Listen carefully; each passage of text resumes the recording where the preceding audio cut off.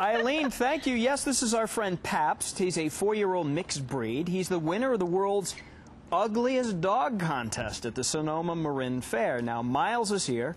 Miles owns Pabst, and we've been checking out Pabst Miles, and we're like, we've seen some national contests with some really, really ugly dogs.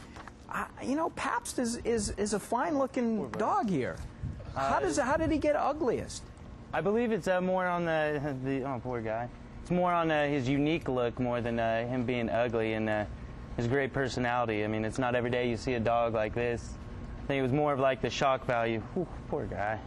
Now, Pap- Pabst is the name. Obviously, it's a beer. So, where did you get Pabst from? The name? Um, one of my favorite beers, and uh, it just goes a lot easier than any other beer name. You can't call them Keystone Pabst and- Schlitz or something like No, that, or, uh, no. or Budweiser. No. So Pabst has the blue ribbon like the beer. So I like that.